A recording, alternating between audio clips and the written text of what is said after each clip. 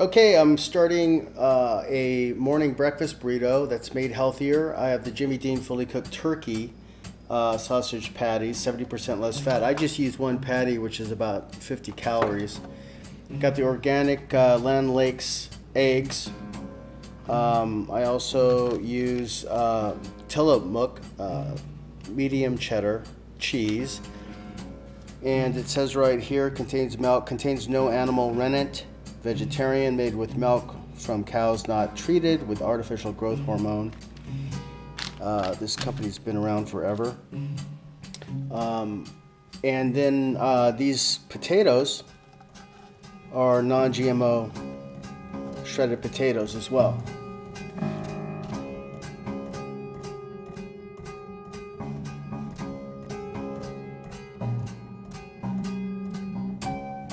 Okay, there it is. The morning breakfast burrito made healthier.